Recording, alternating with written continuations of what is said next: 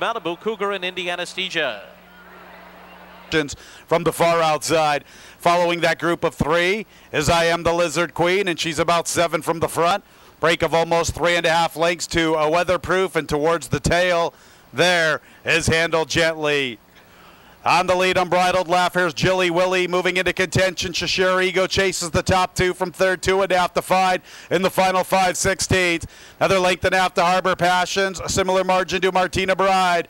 More than six lengths to Sakayawi, along with Handled Gently and Weatherproof. And towards the tail is handled gently. It's I Am the Lizard Queen in front of her. In the meantime, here's Jilly Willy getting the lead and kicking for the wire. No threats to Jilly Willy past the eighth pole, and she is opening up. Shashiri goes second with Harbor Passions. Weatherproof's making a bid for a minor award, likewise for Martina Bride along the rail. No doubt about the winner, Jilly Willy. All aboard, Jilly Willy at one to five. Shashiri go for second, Weatherproof for third. Fourth place might have gone to Harbor Passions.